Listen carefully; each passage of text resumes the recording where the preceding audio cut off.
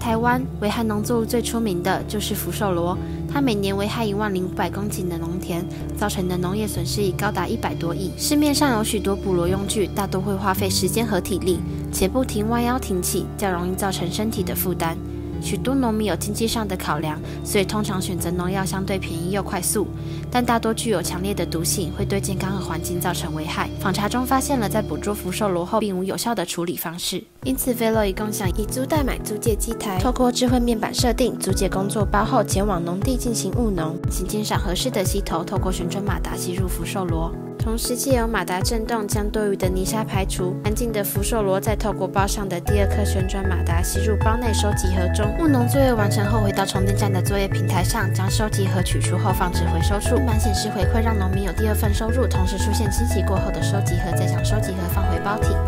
将工作包放回充电，再靠卡感应及完成作业。而充电站的电力来源是由太阳